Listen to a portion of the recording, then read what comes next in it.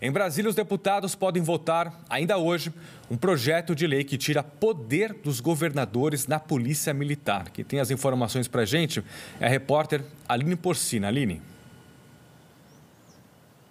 Uma das principais propostas é instituir uma lista tríplice para a escolha dos nomes dos comandantes gerais. Hoje, a escolha é feita de forma discricionária pelos governadores, mas com essa alteração, o governador terá que escolher entre os três nomes da lista, que será votada de forma interna e sigilosa. Outros pontos desse texto que também são polêmicos é um mandato de dois anos com possibilidade de recondução, além de autonomia para que os comandantes gerais elaborem as propostas orçamentárias. Uh, esses temas já haviam entrado na, no radar do Congresso lá em janeiro do ano passado, mas na época os governadores se mobilizaram e demonstraram insatisfação em relação a esses projetos de lei orgânica.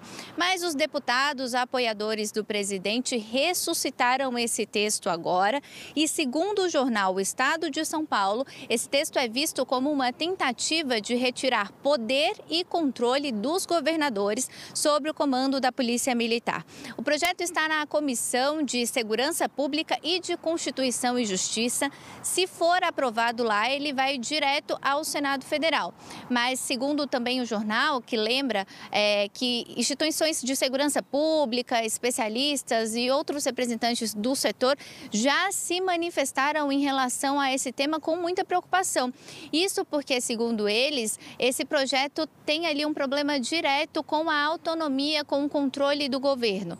Por exemplo, o Instituto Sou da Paz disse que o projeto limita o controle dos governadores e incentiva disputas políticas internas na Polícia Militar. Edu.